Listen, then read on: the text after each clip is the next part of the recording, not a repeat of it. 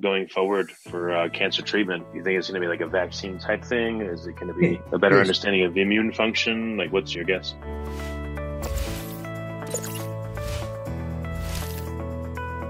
Well, I think that the vaccines developed, they've become unpopular simply because no one believed, and it's largely because of the evidence that's accumulated to show that the vaccines are not very responsive and not very able to generate regression of tumours. But in certain cases, they can. And it's these certain cases that I think are so vitally important. They show that it can be done. You need many, many cases to demonstrate that something doesn't work, but you only need one case to show that it can work. And this is the interesting thing that certain vaccines in certain circumstances can create really effective responses.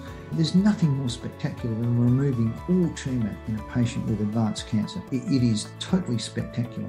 Just the fact that this can occur really should be sparking a lot more interest and a lot more research with drug companies. The companies are sort of hitching on to the easy stuff, but they should be hmm. really hitching on to some of the difficult stuff because that's where a lot of the answers and a lot of commercial reality is going to come from too. If they can crack that nut, it would be really something in, in terms of trying to advance cancer therapy and open up a whole range of different approaches too. That's where we really should be focusing. I think what we're taking is uh, what we're going for is a lot of the low hanging fruit, you know, trying to generate antibodies that boost immune systems and things. That's, that's good. That seems to be working, but it's only working in about 30% of cases. So, what about the other 70%?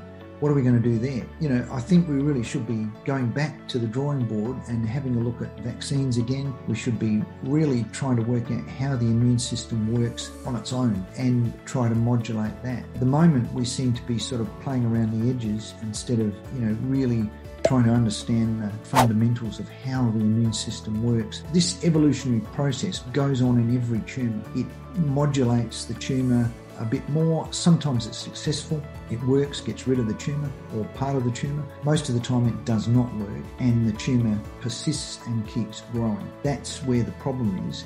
But we do know that there are ways using vaccines that you can modulate the tumours and you can actually get rid of them altogether.